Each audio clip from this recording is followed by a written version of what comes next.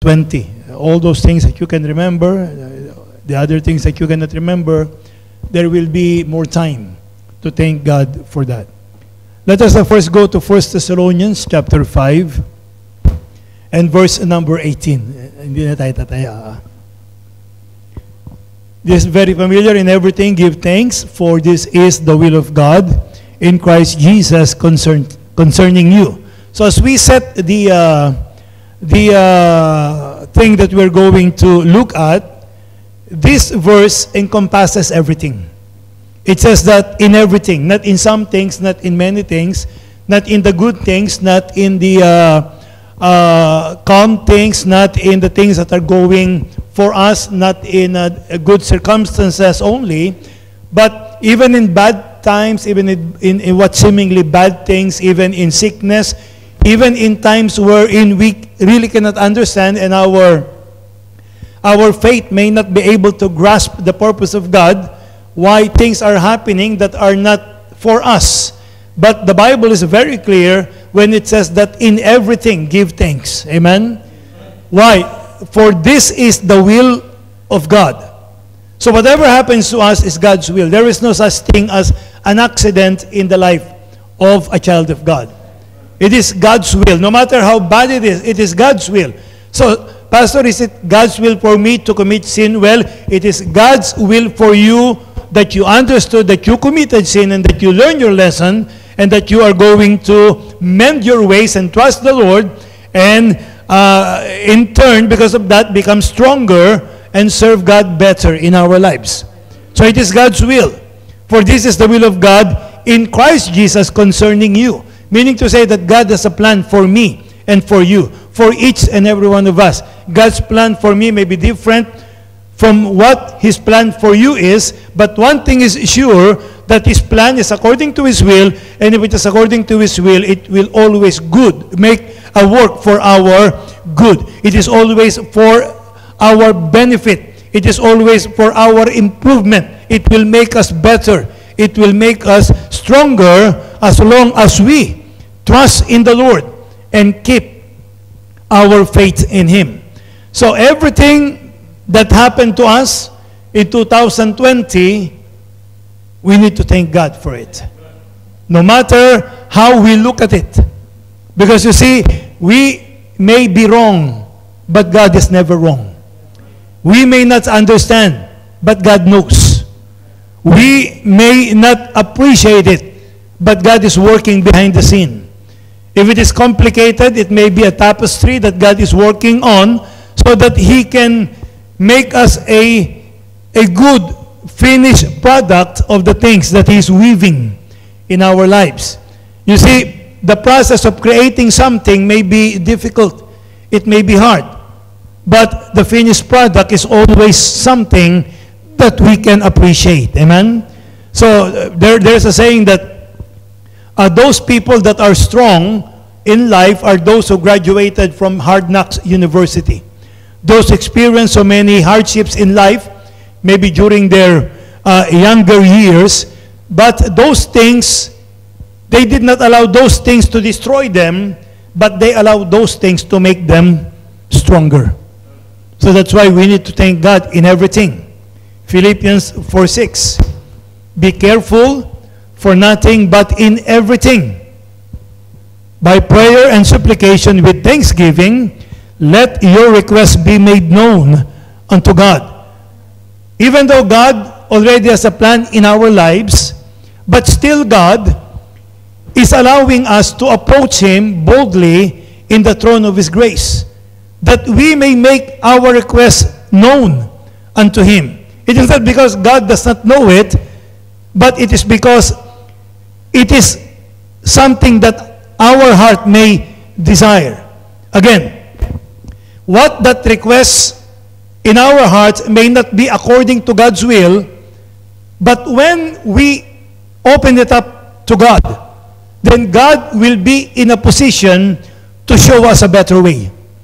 He will be in the position to answer our prayer the best way that only He can do. We may want one, but God may answer two. We may want to be there, but God may bring us to a better place. We may desire this thing, but God may have a better thing that is uh, prepared for us. But we need to always be in prayer in everything with thanksgiving, and we must let our requests be made known unto God. And if our request coincided with God's will, and God gave us, gave us that request, then it is going to be a great source of joy in our hearts that we may praise Him, glorify Him, thank Him, honor Him, and know that we are worshiping a prayer answering God. Amen? Psalms 107, verse number 1. Oh, give thanks unto the Lord, for He is good. Amen? God is good. Just, just this reason is reason enough that we need to thank God because God is good. There is nothing bad in God. There is nothing negative in God. There is nothing sinful in God. But there is only goodness in God. Not only that God is good, but God is good all the time. God is good every time. God will always be good. That's why the Bible says, Oh, give thanks unto the Lord, for he is good. Not only that, for his mercy endureth forever. What does it mean? It means that God will be faithful to forgive us. It means that God will be faithful to cleanse us. It means that God will be faithful to always help, help us to live a righteous kind of life. It means that God will not give us what we do deserve. Amen? That is God's mercy. His, His grace hath given us something that we do not deserve, but His mercy will not give us what we do deserve. And that is the mercy of God. And how long will God do that to each and every one of us? Forever. It will never stop. That's why we are not consumed. Because if God is not merciful, then all of us will be consumed. All of us will die. All of us will be taken away from this world. Because no matter how we try, we will always fall short of the glory of God. No matter how we try, we cannot approximate our lives to the will of God. No matter how we try, there is nothing that we can do. And that is why God's mercy had given us His Holy Spirit. That, that the Holy Spirit is residing in our lives, and that is the power that can make us accomplish anything and everything that God wants us to accomplish if we are going to yield our will to the will of the Holy Spirit. Amen? His mercy endureth forever. Psalm 7:17. I will praise the Lord according to his righteousness. Amen. God is righteous. He will never do wrong. Whatever God does is always right and will sing praise to the name of the Lord Most High. That is why our lives must be filled with praise. That we praise God in everything that is happening in our lives. Why? Because it is it always reflects the righteousness of God.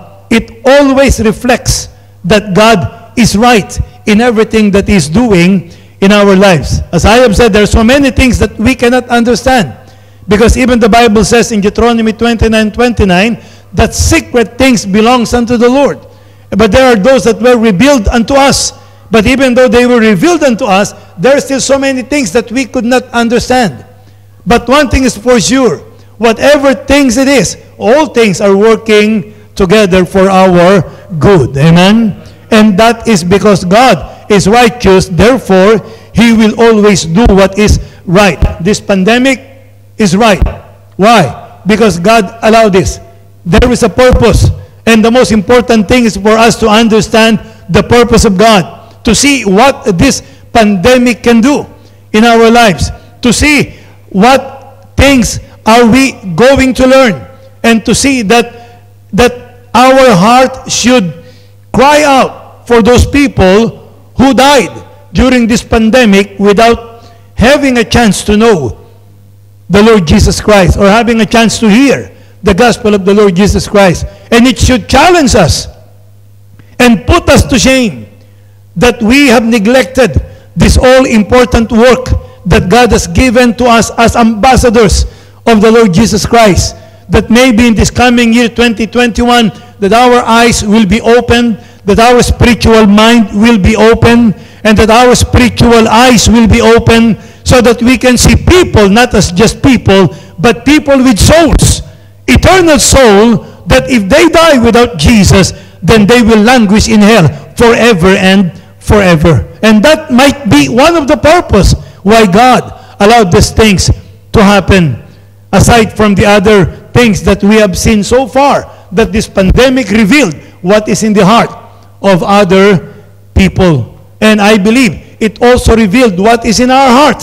So if that the thing that's in our heart is wrong, then we have to remove it and we just have to praise God because our God is a righteous God. Amen? Let us look at Psalms chapter 100, verses 1 to 5. Make a joyful noise unto the Lord, all ye lands. Serve the Lord with gladness. Amen? Gladness, what, not with burden, not with grudge, but we need to serve the Lord with gladness. Why? It is a privilege to be serving the King of Kings and the Lord of Lords. Amen? It is a privilege to be in the court of the Lord. It is a privilege to be one of the people that has the right, the, auto- the, the authority, that has the privilege of serving God. So that's why we need to serve the Lord with gladness and to always come before His presence with singing, meaning to say that we must always have a merry heart whenever we are in the presence of God. Know ye that the Lord, He is God. It is He that made us. Amen? He created us in His image and in His likeness, and not we ourselves. Thank God. Because if we will make ourselves, then it will be filled with error. It will be filled with iniquity. It will be filled with ugliness. But because God created us, then there is that potential. If we will allow the Holy Spirit to live in our hearts or to live in the hearts of other people, there is that potential that we are going to be a masterpiece in the sight of God. Amen?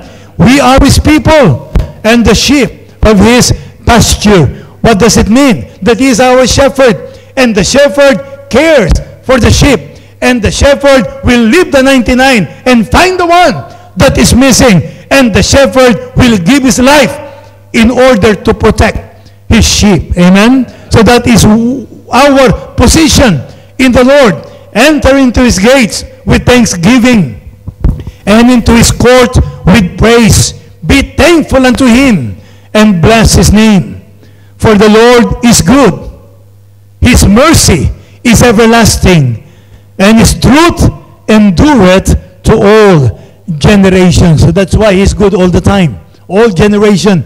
His mercy is everlasting. And his truth will never change. Why? Because God is immutable. He never changes. He's the same yesterday, today, and forever. Let us look at Ephesians chapter 5, verse 20.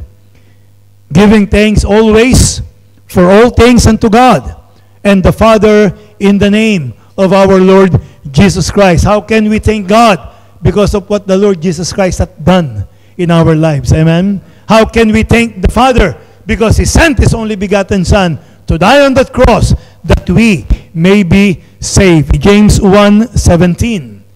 Every good gift and every perfect gift is from above and cometh down from the Father of lights, with whom is no variableness, neither shadow of turning. That is why the Bible says the gift and the calling of God are without repentance. When God gave us something, it is something for our good. When God gave us something, it is something that is sturdy. When God gave us something, it is something that is steady. When God gave us something, it is something that will never change. That is why when something changes, it is because of us.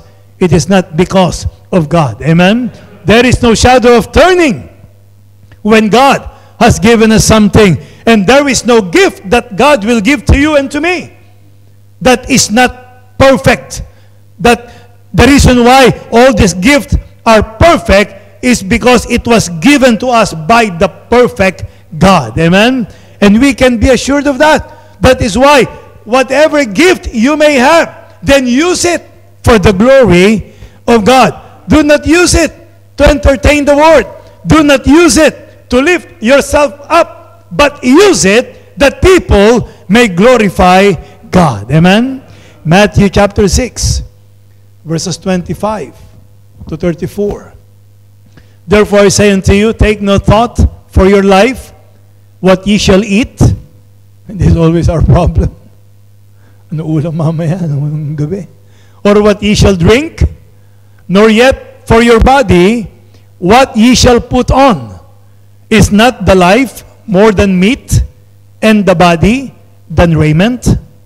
Behold the fowls of the air, for they sow not, neither do they reap, nor gather in the bar- into barns, yet your heavenly Father feedeth them. Are ye not much better than they? You see, this is a rebuke to each and every one of us. We always worry. We're always uh, careful for so many things. We, we always have so many anxieties in life.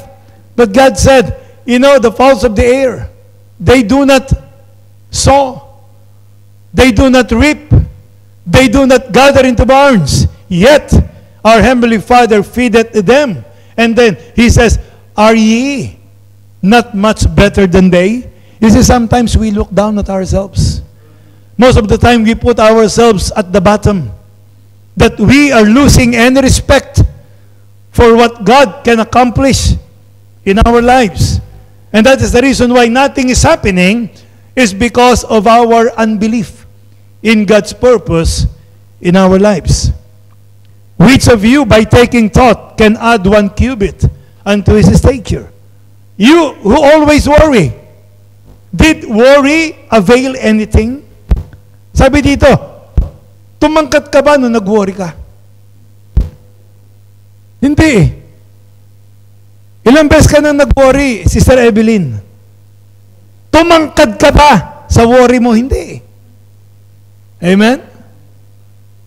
Uh, tumangkad ka kayo nung nag-worry ka? Hindi eh. Di ba? Ang nangyari, tumanda itsura mo. Nangulubot ang balat mo. Nanghina ka, nagkasakit ka. Why? Because you worry about something that God already knows. And God has already supplied. All we need to do is to claim the promise of God. Verse 28. And why take ye thought for raiment? Consider the lilies. Eh, si lily, tingnan mo, consider mo yan. Of the field, how they grow. They toil not, neither do they spin. And yet I say unto you that even Solomon, one of the great grandest king of Israel, the richest king of Israel, whose wealth did not even enter the imagination of so many people. The Bible says, were not array in all its glory, was not array like one of this. It means to say that in all the glory of Solomon, he's not better than the uh, cattleyas in the field. He's not better than, than the uh, flowers in the field that God has made. He says, Wherefore if God so clothed the grass of the field, which today is, and tomorrow is cast into the oven, shall He not much more clothe you, O ye of little faith?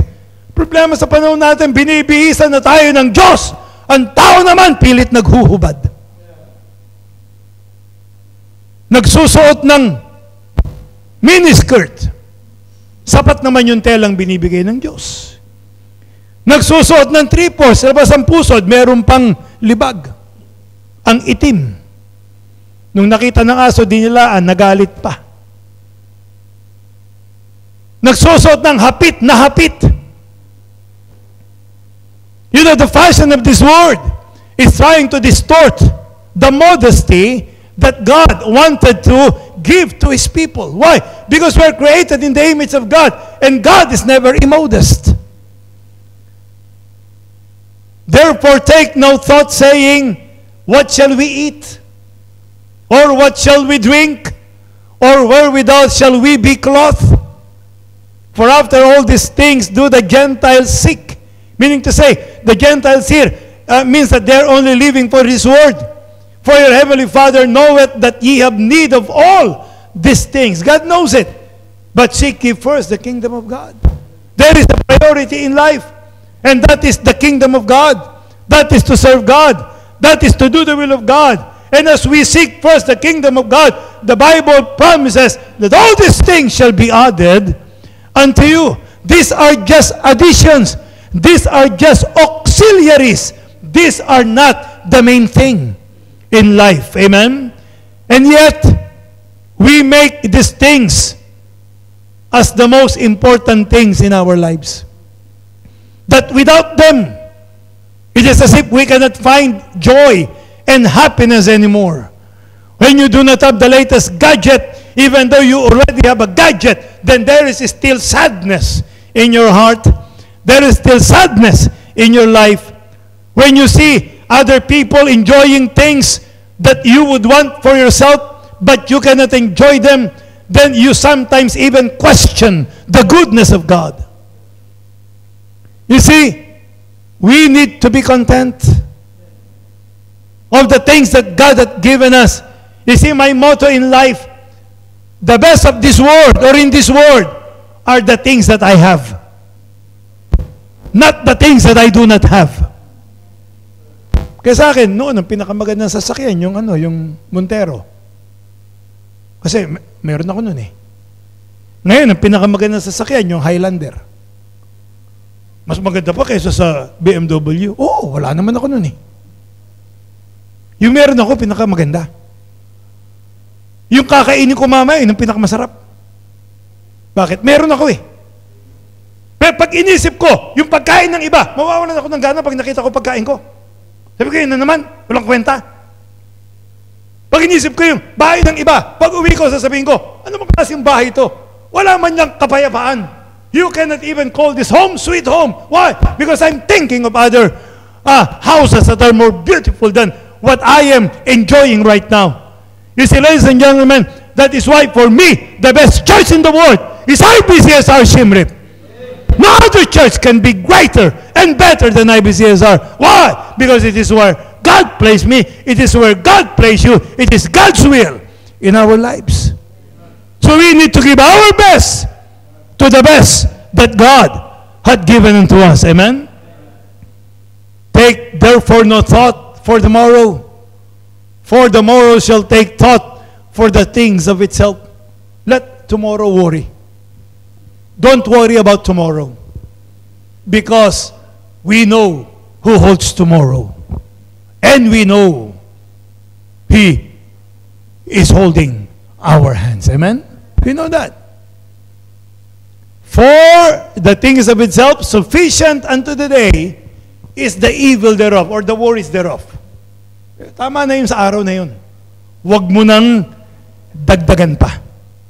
Isaiah chapter 12, verses 1 to 6. And in that day thou shalt say, O Lord, I will praise thee. Thou, thou, thou was angry with me. Galing ano? Thine anger is turned away, and thou comfortedst me. You see, God's anger is holy. And God's anger is for our good and our benefit. Behold, God is my salvation. I will trust and not be afraid. For the Lord Jehovah is my strength and my song. He also is become my salvation.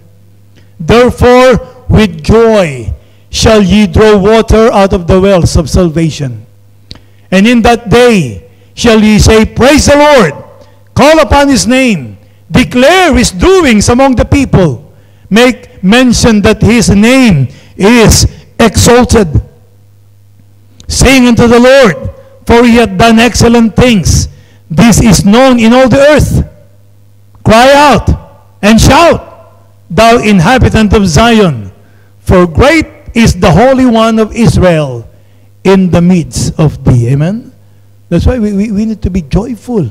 We need to be loud when we, when we uh, praise God. We, we need to, to have always a song not only in our mouth, but a song in our hearts. Why? Because we're serving a great God. That He saved us. And everything that accompanies salvation, He hath given unto us. Amen? That's why in Psalms chapter 50, verse number 14, the Bible says that we need to offer unto God thanksgiving and pay thy vows unto the Most High. Not only that we thank Him, but we need to give what is due unto God. You see, so many people do not understand giving. Giving is not because God needs something. Giving is because we need something from God. Giving is not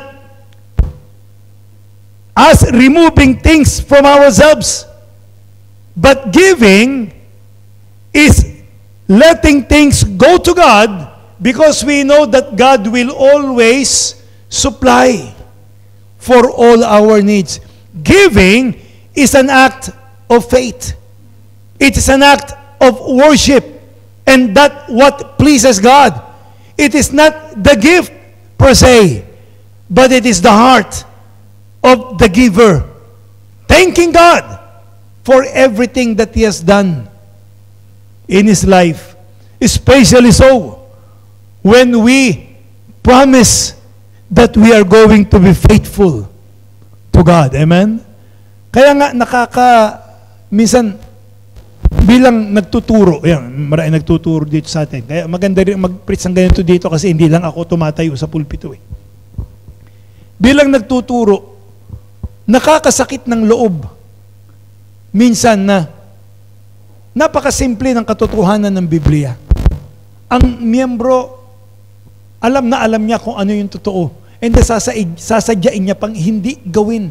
Bagamat ang pinagagawa mo at itinuturo mo ay para sa ikabubuti niya. Para bang sakit-sakit ng loob. Ano ka ba? It is for you. It is for your benefit. It is so that God will will uh, bless you more in your life, not because of the gift that you're giving, but the attitude of your heart towards God. Do you remember when, when uh, this Mary uh, broke that bottle of spikenard, a very expensive perfume, and poured it out and anointed the feet of the Lord Jesus Christ and even dried it using her own hair? Do you know when Judas looked at it and the disciples, they said, it is a waste because it is expensive. But when God looked at it, it says, it is a memorial. It is something that was done, that she did, that will never be forgotten forever. So that is what God will look at the things that we are doing for Him. That's why a Christian should be should not be stingy. Do you know why? Because we do not actually own anything. Whatever we may say we have in our possession are only borrowed from the Lord. And it will be wise to treat the source the best possible way. Because if God will put a lid or a stop on that supply, then nothing will happen in our lives anymore. Offer unto God thanksgiving and pay thy vows unto the Most High. Why? Hebrews chapter 13, verse 15. By him, therefore, let us offer the sacrifice of praise to God continually. That is the fruit of our lips, giving thanks to his name. So praising God must be perpetual. We are doing it here, and when we get to heaven, we will do it many more times than what how we are doing it here. Colossians 3:15. And let the peace of God rule in your hearts, to the which also ye are called in one body, and be ye thankful. Let's be thankful that we are in a church. Amen? Let's be thankful. But, Pastor, our church has a lot to be desired. Uh, There are so many things that must be fixed, that must be done. But thank God because there, there is always hope. There's always something that we can do. There is always something that, that will be accomplished in our lives. And there is, will be a lot of opportunities because there are so many things that must be done in our church. But the main thing is that we have to be thankful. So, how, how thankful should we be? Psalms 116, verse number 12. What shall I render unto the Lord? Amen. For all his benefits toward me. We must always ask that question. What can I do for God? Why?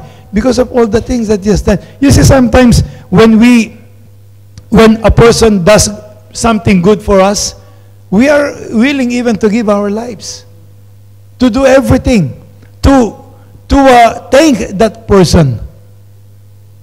Well, sometimes we do not know. Maybe people may do something good, but sometimes they may just, you know, may have an ulterior motive, or maybe they're just trying to, to uh, you know, satisfy their ego, or maybe they, they're just trying to cover uh, their conscience, or whatever it is. I'm not saying that, that what every time a, a man does good, it is uh, uh, because of some ulterior motive, but there is a possibility. But one thing is for sure, when God does something, it is for our good. It is for our benefit. God is not going to gain anything from it. But He did that to us. So what can we do for all the benefits that God hath given unto us? Amen? 2 Corinthians 2.14 Now thanks be unto God, which always causeth us to triumph in Christ, and maketh manifest the savor of his knowledge by us in every place. So Paul have this kind of attitude. And lastly, Psalms 31:19.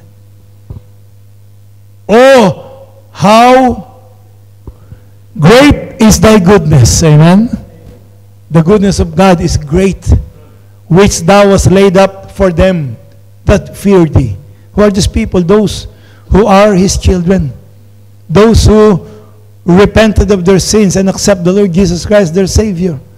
For them that fear thee, which thou hast wrought for them that trust in thee before the sons of men. You see, if we will just look back in our lives, since we came to the age of accountability, even before we got saved, you will see moments after moments after moments that maybe we should have died or may have meant an accident that made, you know, debilitate us for the rest of our lives. Or we have been pushed into corners wherein there is almost no way of escape, but somehow we were able to get away with it. And then when we got saved, so many things happened. The devil doubled down on us, tried everything to destroy our testimony, tried everything to make us ineffective in the ministry, did everything so that we cannot glorify God in our lives. But in all those things, the goodness of God is great. That He allowed us to escape those things. That He allowed us to find a way of escape.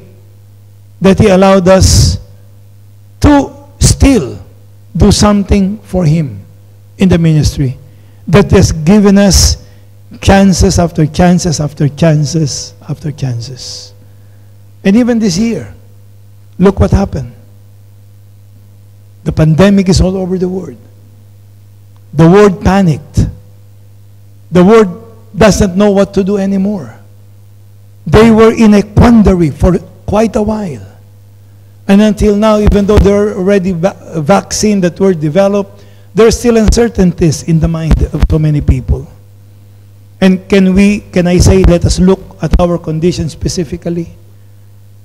That it is as if we're not even in a pandemic. We will not even miss a Sunday to worship God. We never miss a meal. The whole time, nine months and counting. So if we will just look at it and look at God, you can never deny that whatever happened to us or is happening to us, you can always see the hand of God. And that is something that we can thank God for. So as we end this year, this 2020, I know it's still two more days, but corporately as a church, as we end 2020, why don't we just, you know, kneel down, or even if you're sitting down or standing up, but just go to God's throne of grace and just thank Him for everything that He has done in our lives. Whatever it is that you may think of, I'm going to give you time to pray. And then when I see that everybody has finished praying, I will just close us in prayer. And whatever thing that we that must that must be done, we're going to finish it. But we will end up end 2020 as a church in thanking God for everything that He has done in our lives.